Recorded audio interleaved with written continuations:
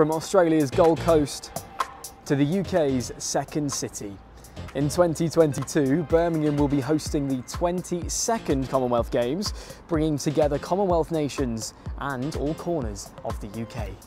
But you don't need to wait until then to do your bit. The Games team are scouring the UK for a mascot, and you could design it is they wanted this Commonwealth Games to not just be an incredible spectacle, but to be about young people as well.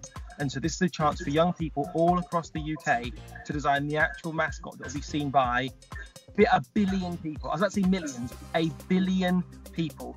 And so whether you're an artistic genius, whether you hardly put pen to paper, what an opportunity this is. And for me, I'm excited to be announcing it. I've been working on it with Denise Lewis, a two-time Commonwealth gold medalist, an Olympic gold medalist in the heptathlon. Well, no pressure uh, to anyone. what are your, Radzi? What would you say your your top tips for this? You know, I mean, it's something I don't imagine you've you've done before. You designed a mascot, but you have been one. You've had that experience. Um, what sort of things do you think people should look for? I assume lots of bright colours, big bold statements are always quite good, aren't they? Yeah. What I would say is, so sometimes it's quite cool to try and reverse engineer any problem. I think. So if you imagine if thousands of people are going to design something, what's the obvious thing to do?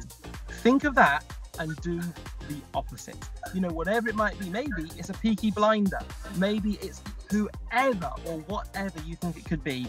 Get that idea on paper and it's dead straightforward. It's free to enter. All you need to do is jump onto birmingham2022.com forward slash mascot and all the details are there. But any other top tips, what I would say is let your imagination genuinely run wild. Don't hold back. If you think it, draw it.